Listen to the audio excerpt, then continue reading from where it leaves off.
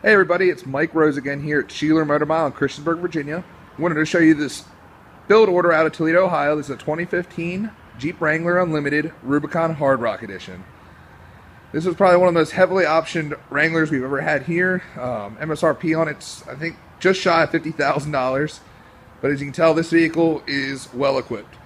You have your painted matching hardtop as well as the dual top group, so you do have your soft top in the back. Um, you got your mud terrain tires on here, which are great. I've got mine for about 40,000 miles. Still holding up.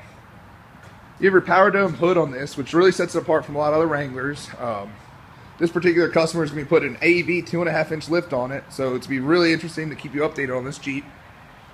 But uh, it's a 2015 Rubicon Hard Rock.